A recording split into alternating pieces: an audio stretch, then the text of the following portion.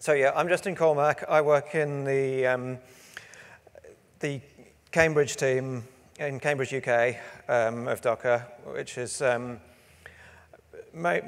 largely consists of the people who came as part of Unikernel Systems and some more people who we've hired since, and roving people like Jerome who come and occupy our office every now and again when he's, uh, when he's passing by on his lightning tours.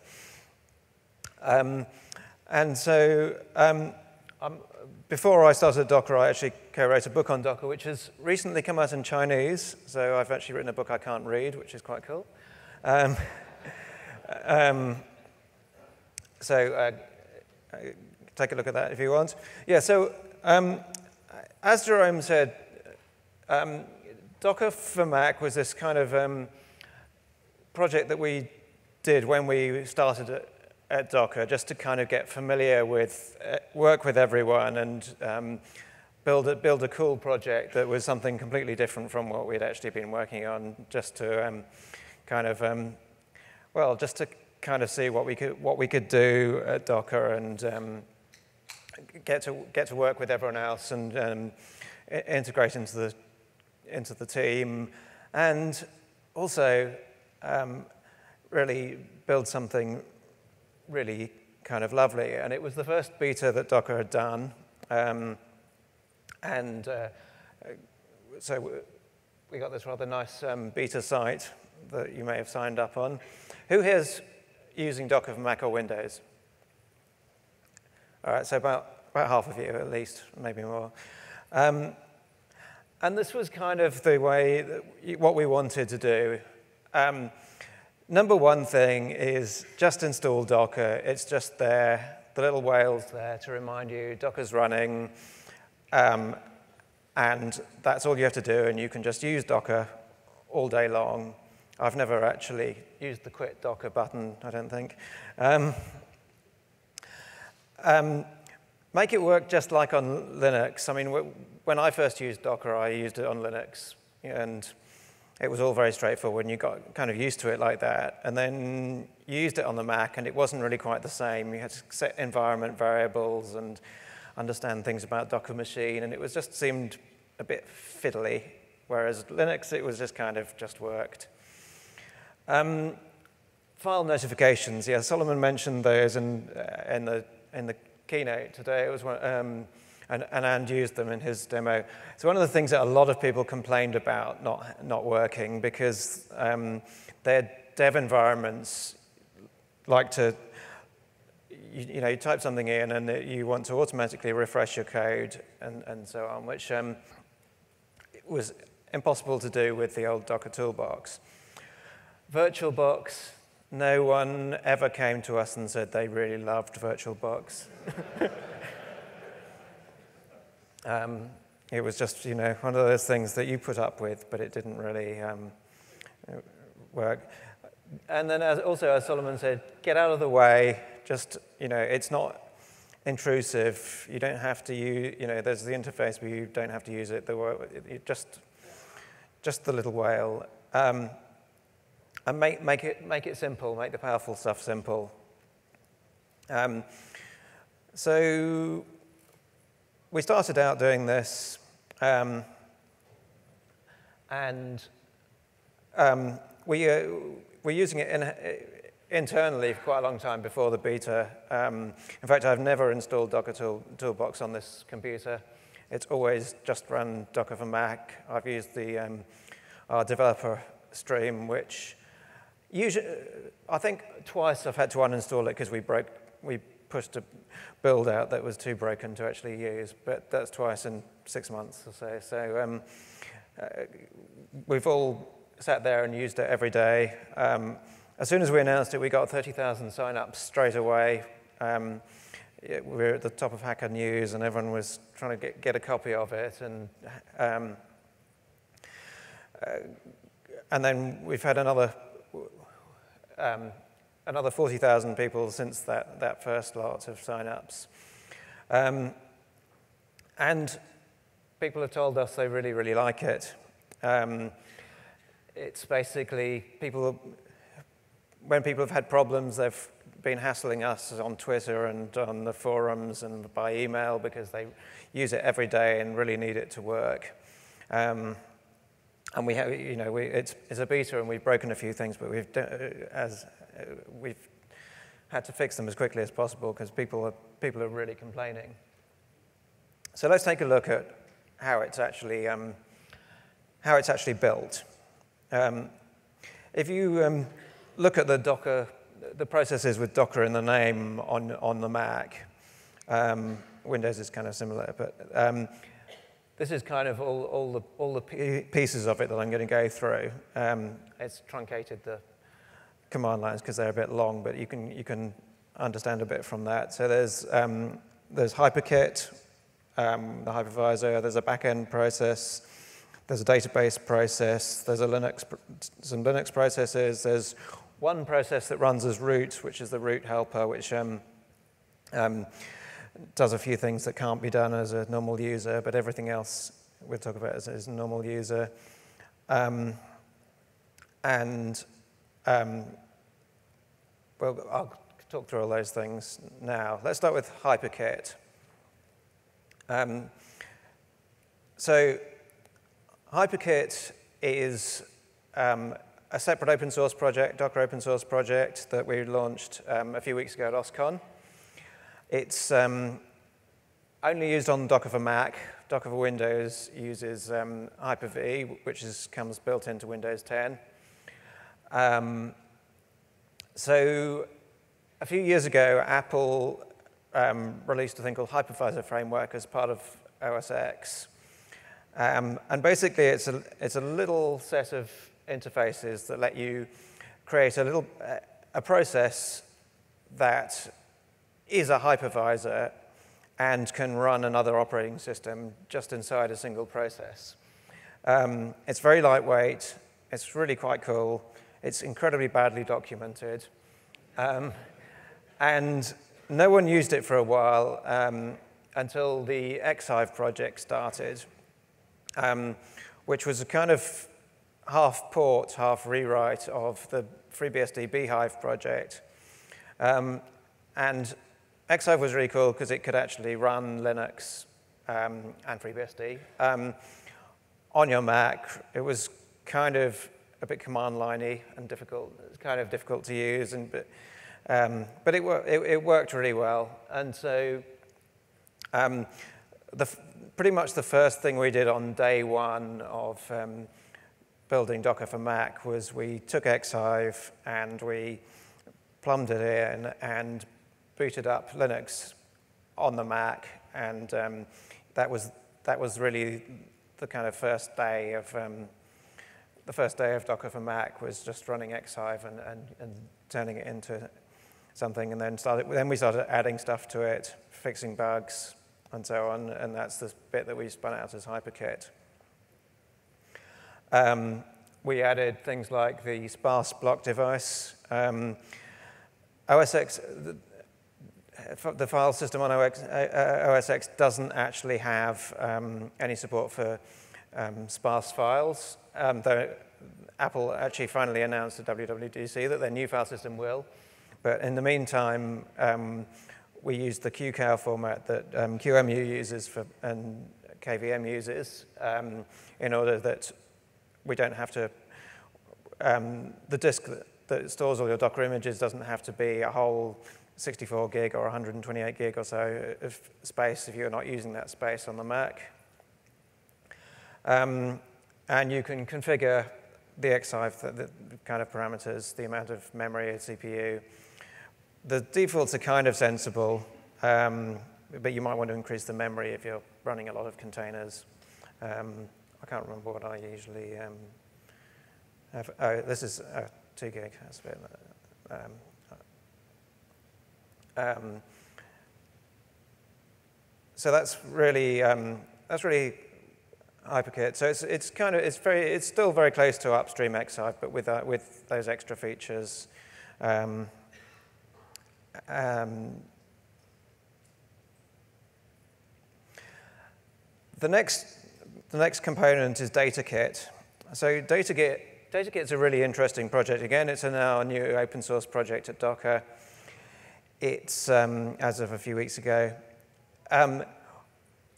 For Docker for Windows and Mac, we actually don't use very many of its features at all. It's a really, really exciting project. It's basically um, a Git store for data structures and for progr distributed programs to use um, data structures which you can treat like normal Git objects. You can merge them, you can fork them and rebase them and, um, and so on. We just use it as a way of storing configuration um, and yes, the configuration for Docker Mac is actually stored in a, um, in a Git tree. So um, you can um, take a look, if you look in, um, the, in that library containers com.docker data database, there is a, um, a .git file. This is actually a Git repo. And if you look in it, it's got all the things like the, the memory is value is 2, which is 2 gig of RAM that I selected earlier, um, and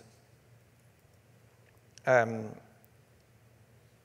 and four CPUs, and various other kind of um, bits of, of, stuff. There's um, an etc Docker directory which has um, the daemon.json config file for Docker, which you can um, go and modify.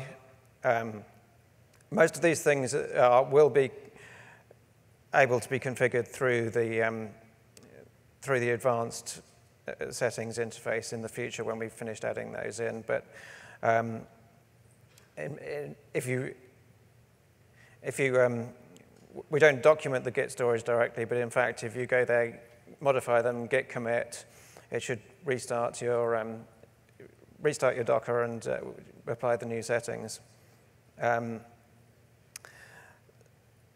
there's also a, um, inside the VM, which I, am in the VM here, um, there's also a database directory, and you can see that the, um, you get a file system view of the Git repository. Um, so that's the master branch. Um, I can look at in there and I can see the same things from the file system point of view. So we've got a, there's a, so one of the things that DataKit provides you with is a file system view of uh, your Git repo um, which you can create transactions and things like that, which is really, um, uh, and you can watch, you can watch for changes in a, in a Git repo. Um, so there's, there's actually loads and loads of things you can do with, um, with DataKit. Um, it's a, um, there's loads more stuff that we're going to be using it for in future. We've got a whole lot of use cases around continuous integration and stuff like, and building things and other stuff. Um, so do check it out. It's, um, again, it's part of the um, stuff that came from unikernels. It was part of the Mirage project. It's written in OCaml, um, so it's a good excuse to learn OCaml. Um, plumbing. There's a lot of plumbing when you build something like this. Um, we actually found ourselves, because we've got all these separate components, there's the Mac and there's the virtual machine, or there's Windows and the virtual machine. We actually had to plumb a lot of stuff up. There's Docker running with the Docker client on the Mac and the Docker server and the Docker daemon running on the, on the Linux VM. So we tried various things, but eventually we um, started using VSOCK and Hyper-VSOCK, which are actually quite little known, but rather useful um, things. They're basically Unix sockets, but for talking uh, to a, between um, virtual machines. So um, VSOCK um, we use on the Mac and Hyper-VSOCK on Windows. Um, you can just create what looks pretty much like a Unix socket, but with a different addressing scheme, which addresses where you can, you can communicate between the host and the, um, and the VM with different socket numbers.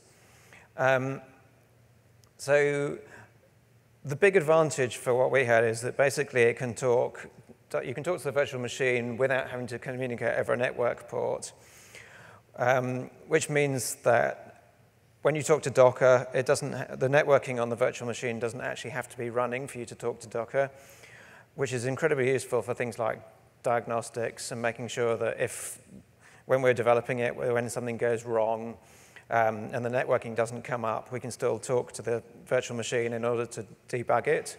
So we have a whole lot of diagnostic stuff that runs over, over these sockets.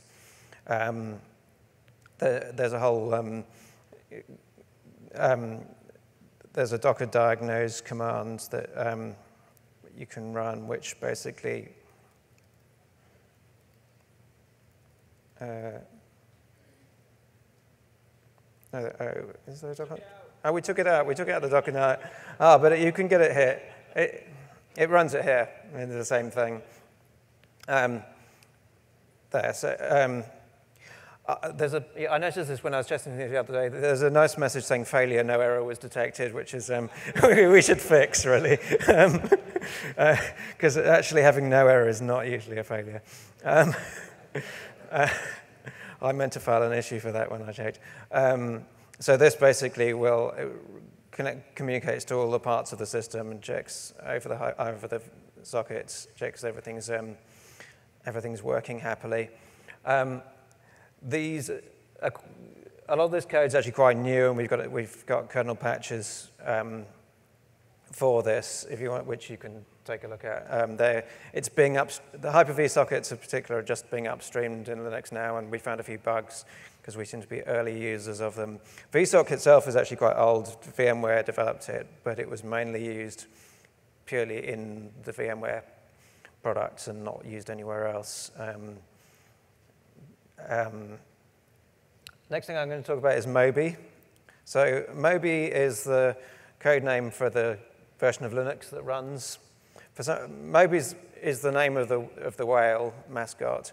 And for some reason, Docker had never actually had a project called Moby before, which was a bit weird, so we stole the name. Um, but Moby is really basically Alpine Linux. Um, so Alpine Linux has been around for, um, I think, around eight years now. It's, um, it's quite old. Um, it's got a growing community. A lot of people use it running inside their containers, and that's how they come across it. But it's um, always actually been something you can install on your Linux machine. Um, it's really small. Um, it's designed for security. Um, it's really lightweight. It was designed to boot in a really stateless way from basically from a RAM disk um, rather than actually being hard installed, which is great because that's exactly what we wanted for, for this. Basically, whenever you, whenever you start up, whenever, this, whenever you start up Docker here, it, it just boots up the Linux process, which takes a few seconds. Um, and it, if, um, if anything gets changed on the system, like you run a privileged container which messes up the, Linux system, you just have to restart. You just restart with the restart button here, and everything will go back to exactly how it was from the, um, the state of the file system. Um, everything except your actual Docker containers, obviously, which are stored on, on the QEMU, for the um, QCOW format disk, um, which is, so it's basically the, the var is mounted.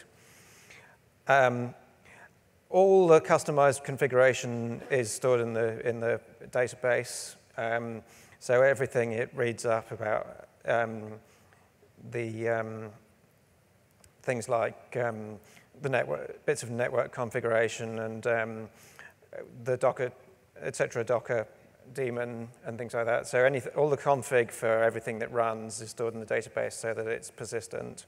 Um, so it's, it's, it's very much like the kind of Phoenix server model, except for, for a desktop. So you just create it every time you, if you want to update it, we don't update the packages on it. We just ship you a new version of Docker for Mac with a new version of Moby in it.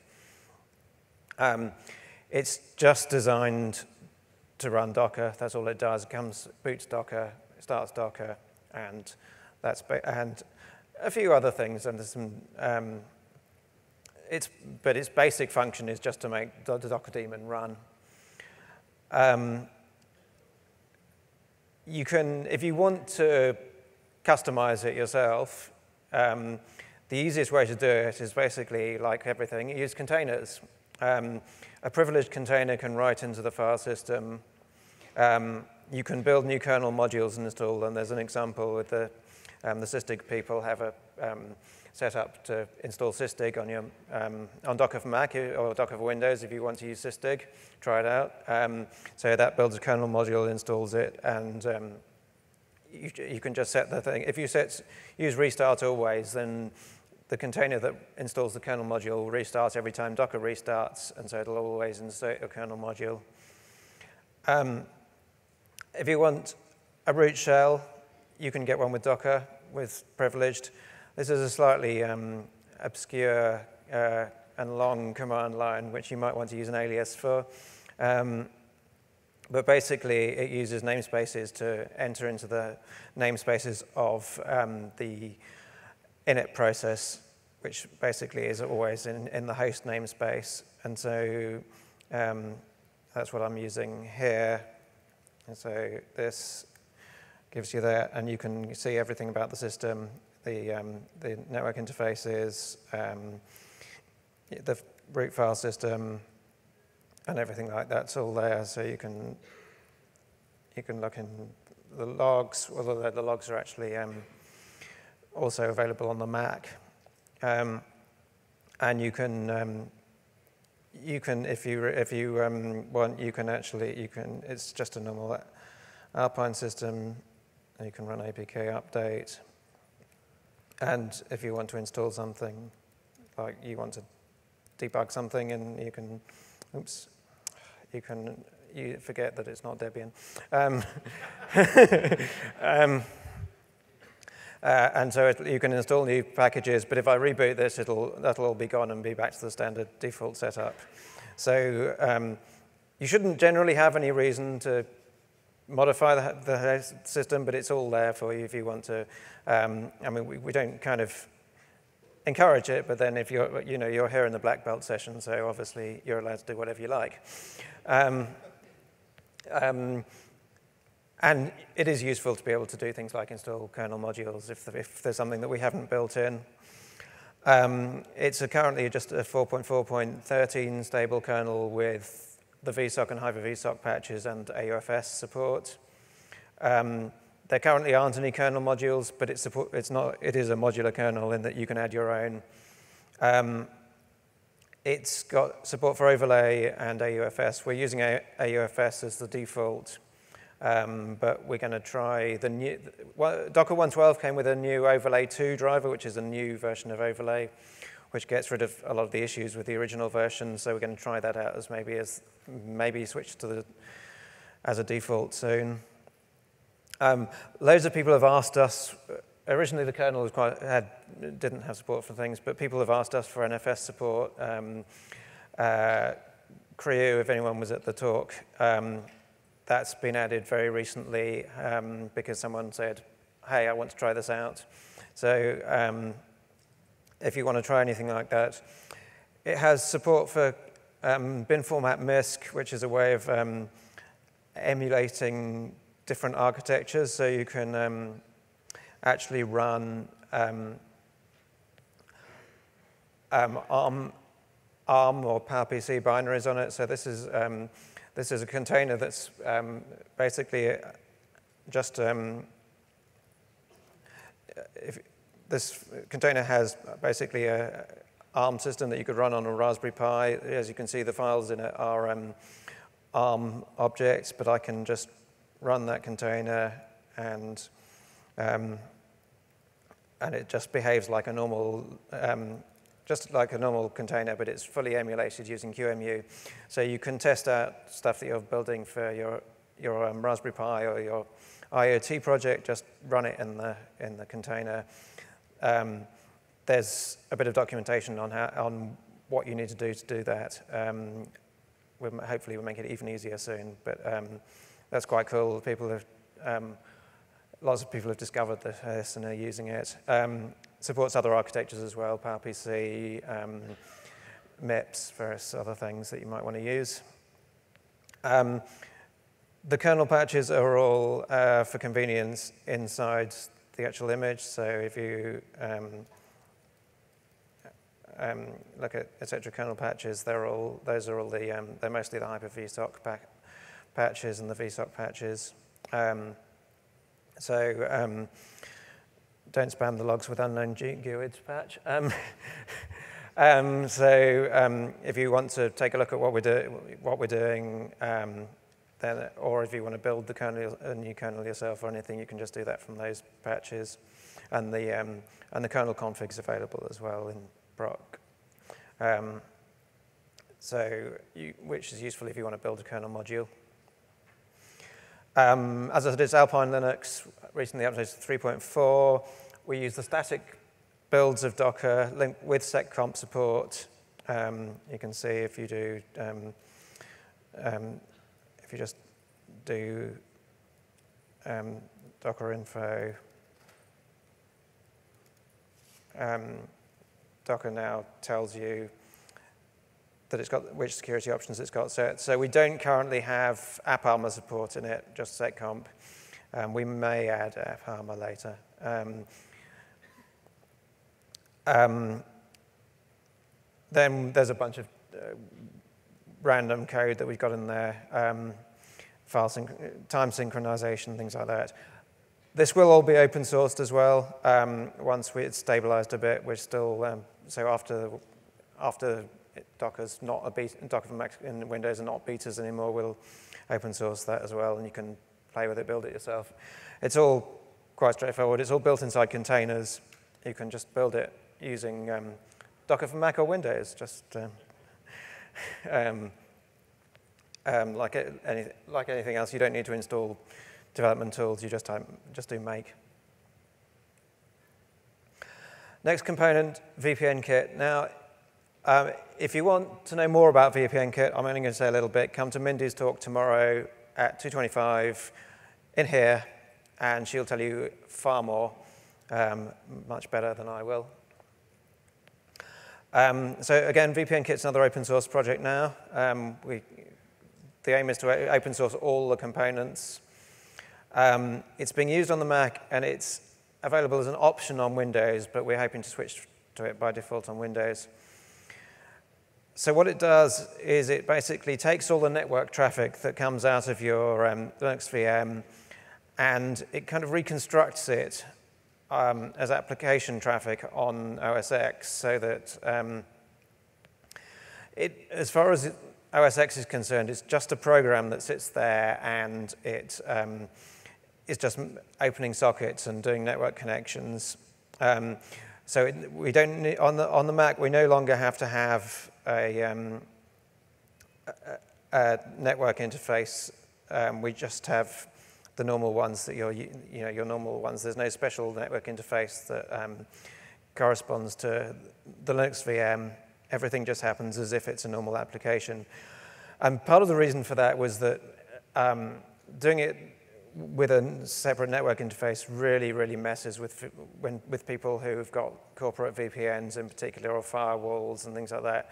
And basically, containers just don't work very well often for people who've got those types of setup um, because their containers won't be able to reach the internet, which is really annoying.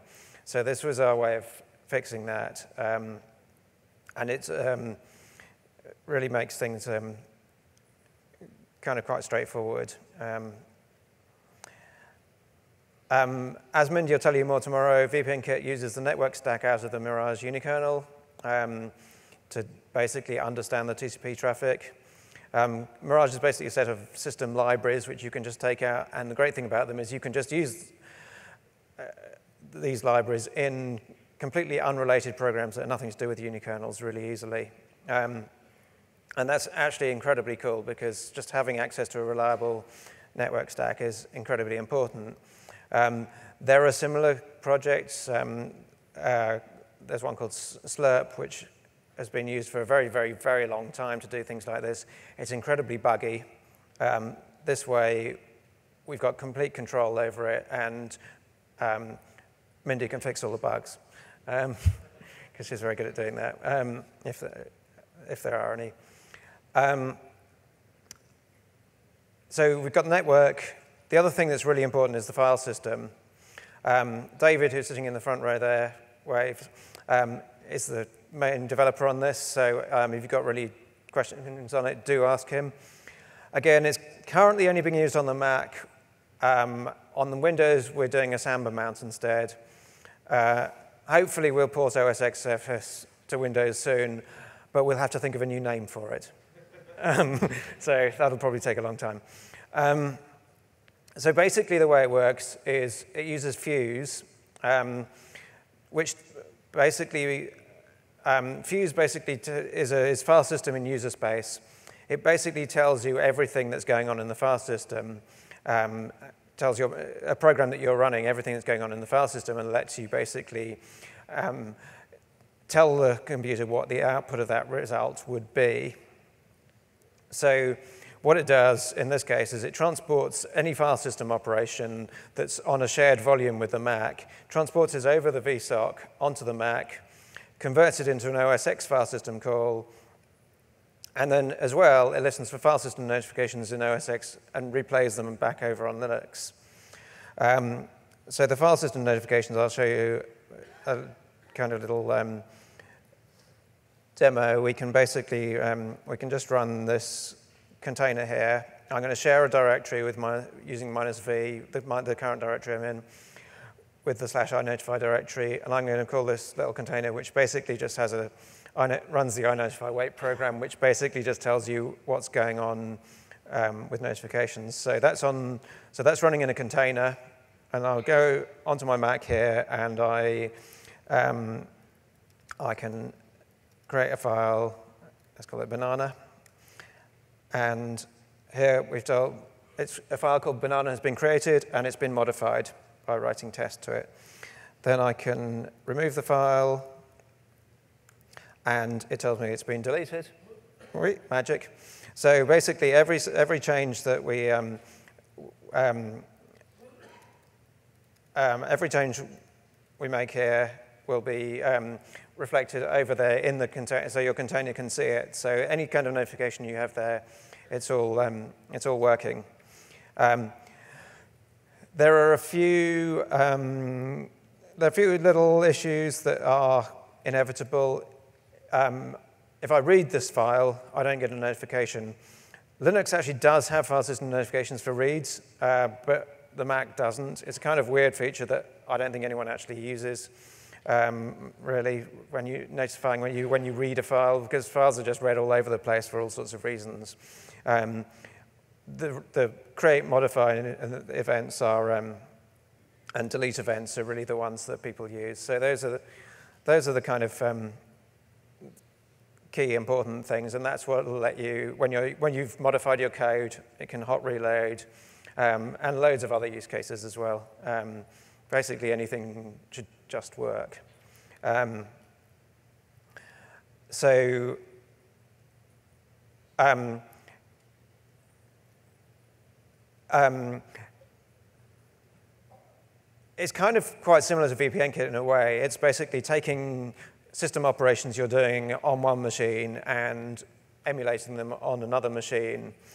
File systems are a lot more different than network stacks. Sockets are pretty much the same on a Mac and Linux more or less, whereas file systems are very different. I mean, OSX is not case sensitive and things like, and it has different things.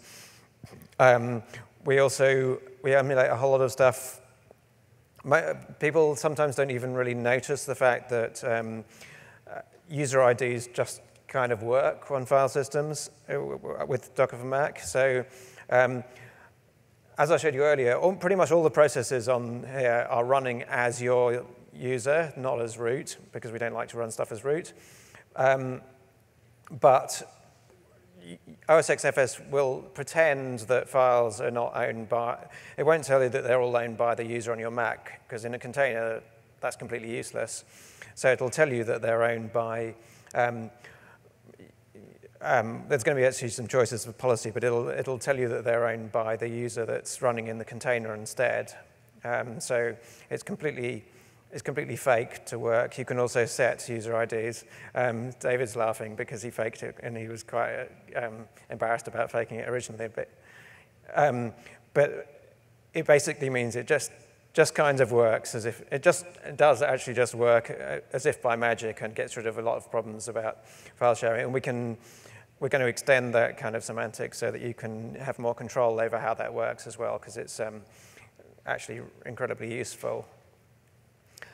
Windows file sharing, yeah, is, as I said, is at the moment is very different. Um, we use a Samba mount. Um, Samba does, in theory, support file system notifications, but no one bothered to tell the people who wrote the Linux implementation. So at the moment, there's no file system notifications on Windows, which is really annoying. Um, we will fix this. Um, the plan is to port OSXFS to Windows, um, but it'll take a little while because Windows file systems are even more different than Mac ones. Um, user interface, um, just going to talk about that a little bit. It's quite minimal at the moment, but we've got, it's got a lot of plans. It's all native code, um, and it's a really mainly um, either talks to the database or it looks through um, the diagnosis programs and things like that, as I showed you earlier. Um, it's um, um, it's actually one of the kind of uh, GUI programs with the least GUI at the moment, but we are, we are planning, particularly the preferences. Um, we just started adding these things now. There's a huge amount more. Um, the, if Docker config, for example, at the moment there's only a few options, but there's loads more stuff that um, actually you can generally do through the database now, so we can start adding the um, user interfaces to support it. Um, um, if you want to use it directly through the database, do um, ask, ask afterwards. Um, we're going to probably, the plan was to integrate Kitematic at some point, um, or a similar native graphical interface. Um, another thing is that you can't not notice when you use it is the design. There are a lot of really lovely whales hidden away inside. Um, happy whales, sad whales, uh, the diagnosis whale, the documentation whale, the networking whale. Um, these are just a few of them. Um, these were all drawn by, um, by Laurel, who um, uh, is um, around here somewhere. So if you see her, she's probably taking pictures. Um, do thank her for her lovely, her lovely whale pictures. She, it's the first time I've worked at a company that has an illustrator, and it really makes an amazing difference to, I mean, it, the application could be really boring if it didn't have a little bit of, a little bit of niceness. You know, even, even when something goes wrong, the unhappy whale is quite funny and cheers you up. um, and you, have to let it crash just to see them. um, so yeah, thanks to Laurel. Um, I'm going to, I'm sure you've all got questions. You can ask them later, but I'm going to go preempt a few of them. Um, why doesn't my favorite feature work? Um, number one, net equals host.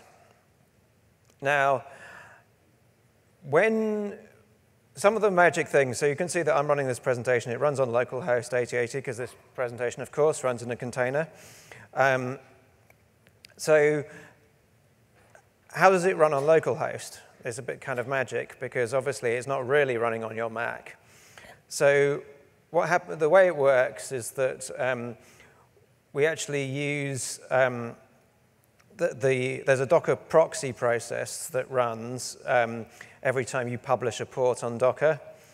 Um, and we've kind of hijacked that interface. And there's actually, if you go and have a look inside the file system again, there's actually a, um, a magic 9, 9p file system called slash port that tells you, that basically gives you, is a communication thing between um, Linux and the host telling it which ports are current need to be exposed because the users published those ports. So these, um, this is my um, presentation running here, um, and this is a Swarm service when I was testing Swarm when the Swarm support was released. Um, so both those are running and they're in this port file system and there's a, and the process basically goes, sits there and adds new, new things to there. So that's kind of how that works. But if you do net equals host and you run a service there, it doesn't, there's no publish event, nothing happens, it just starts listening on the port. And we have no idea, so unfortunately we can't publish that port to the Mac at the moment. So we have to find some way of doing that. So people keep saying, I've run it with net equals host, but I can't find my container. So that's the reason. We will try and fix it, um, but it's not fixed yet. I can't connect to my containers directly. Um, yeah, at the moment there's no routing to the Linux VM, and so there's no routing to bridge networks on the Linux VM. Um, if you want to connect, the best thing to do is just do it from a container, because containers can connect. You need to do this if you're using overlay networks rather than bridge networks, so it's kind of a good habit to get into. Um, we, we actually I actually had this working at one point with routing, but it's not working. It won't work at the moment because there's no network interface that's visible. Um, yeah, it's kind of inconvenient, but um, it's, yeah, we'll, I don't know if we're going to fix that or when. Still things to do. Unix sockets between the host and the container don't actually work because they're actually different computers, much as we try and pretend it's the same one. Um, so um, we're actually going to fake this and make it work. David's promised. Um, we're just going to use the VSOCK layer or the Hyper-V layer we've got and basically put your socket that you've magically created over there and it'll magically work, but it doesn't magically work yet. Um, in the meantime, use, use a network socket or something, or just run everything in containers or something like that. It's, um, but we'll definitely do that because there's, there's a bunch of use cases that do that. I mean, we already do it for the Docker socket, which um, magically is a Unix socket on the Mac and a Unix socket on Linux, and things automatically go over the two, but it's not configurable in that nice, easy way yet. Um, but yeah, we've got the infrastructure to do that now. Um, sound.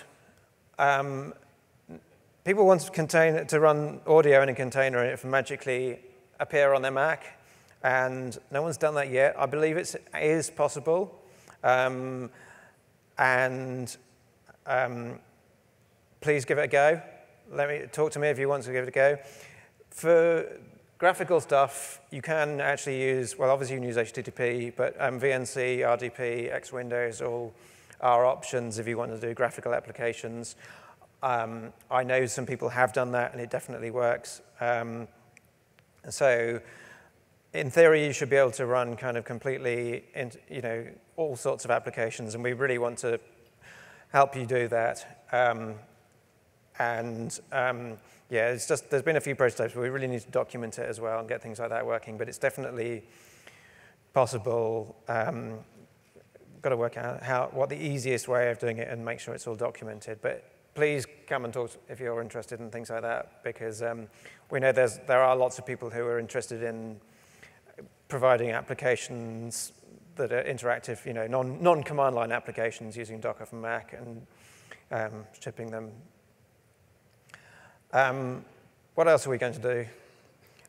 At the moment, it's stability first, features second. So if you've got desperate feature requests, they won't happen in, in the near term until um, unless they're really, really, really straightforward things, in which case you might manage to, if you bribe one of the team, um, you can spot them because many of them are wearing our Docker Mac t-shirts, which just arrived, um, or they're around here, or just ask on the booth. But um, yeah, at the moment we're just trying to do bug fixing. We realize that it's massively important because so many of you are using it all the time and it's got to work, and we did mess a few things up. Sorry if we ate all your disk space. Um, um but features are driven by your requests. We do take notice of them, even if we don't implement them straight away. And please post on the forum, email us, talk to us, Twitter us, um, come and see us at the booth, um, and tell us how you want to use it, what you can't do, what the problems are, and we will, we will fix those things. There's a huge number of often little tiny things that people have just asked for, and we just said, yeah, that's a great idea. We, well, why didn't I think of that before? Yeah, of course we'll do that. Um, and, you know, thanks very much for, for, for doing all that, you know, asking us.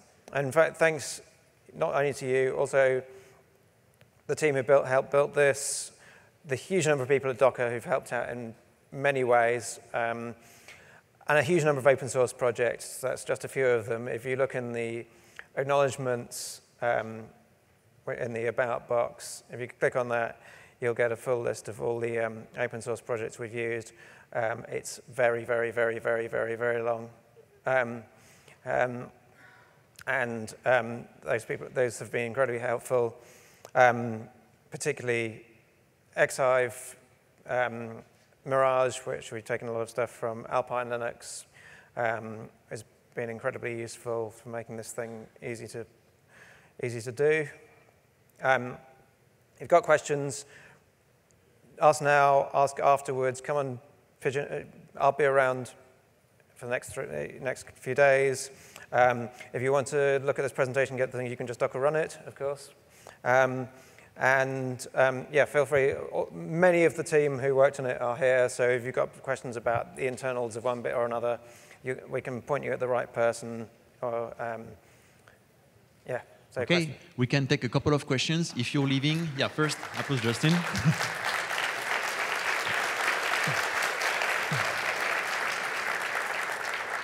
if you leave, please do it silently so we can take a couple of questions. Thanks.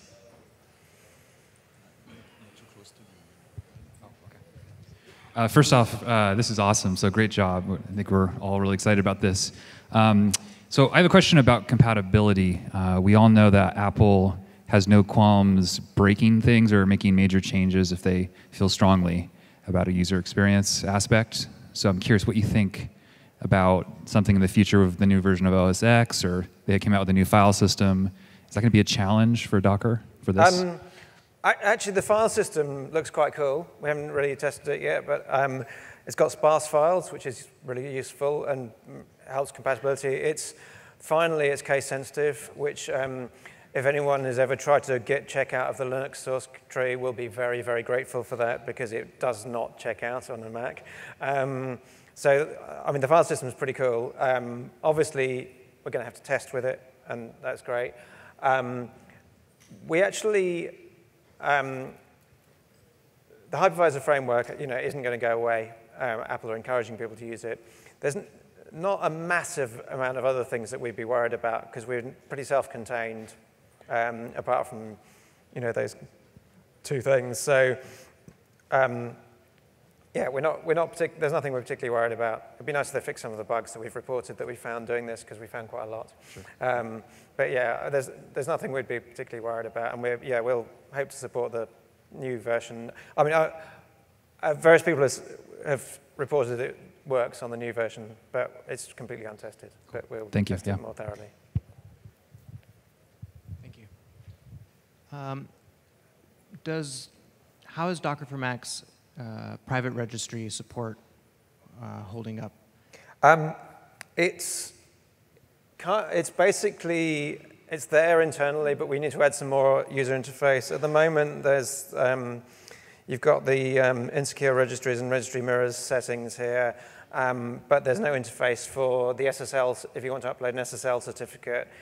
It is actually there in the database support and uh, will, will work as soon as there's an interface or if you uh, put the magic things into the database by hand and git commit.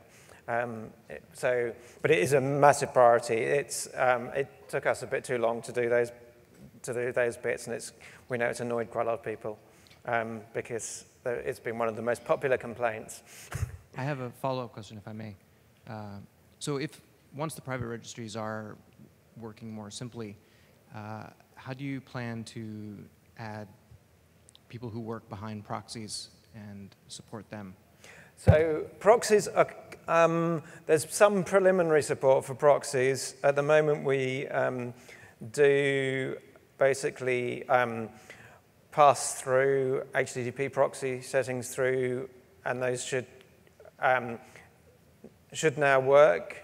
Um, it's quite uh, early, and we plan to do some more work around supporting proxies better, um, so that um, we need to teach VPNKit about how to do proxies directly, um, and then that'll all be much more transparent. Um, so that's, yeah, that's, um, it's, it's, half there. If it doesn't work for you, let, let, please complain in the forums and say what's, what is working and what isn't working, because it's quite, the bits we put in are quite new, so we're not, we haven't had much feedback on them yet, but it'd be really helpful to have some. But yeah, we are, it's, one of the important areas that we know is, has been missing. Thanks. Another round of applause for Justin. And